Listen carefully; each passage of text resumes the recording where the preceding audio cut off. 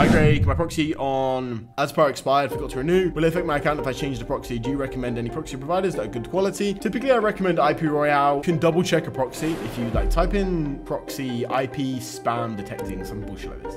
You can double check the quality of the proxy and you can also compare it to your home Wi-Fi as well. You kind of want it to be like as low as humanly possible, right? IPRoyal is a pretty good provider. Uh, OxyLab is also a pretty legitimate provider, a little bit more expensive, a little bit of a different way of doing it. They do it per gigabyte of data you use, whereas IPRoyal just pay per month for the IP and you can do unlimited, uh, basically unlimited.